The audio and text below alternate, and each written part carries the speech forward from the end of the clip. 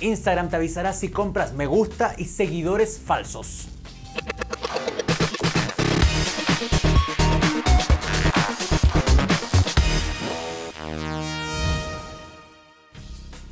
No es ni la primera ni la última vez que Instagram va en contra de los perfiles falsos.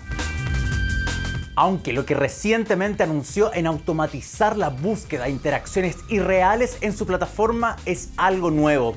A partir de ahora, la plataforma social utilizará herramientas de inteligencia artificial y machine learning, es decir, que constantemente evolucionan para perfeccionarse con el fin de detectar a los usuarios reales que compran me gusta, comentarios y seguidores falsos para aumentar su audiencia.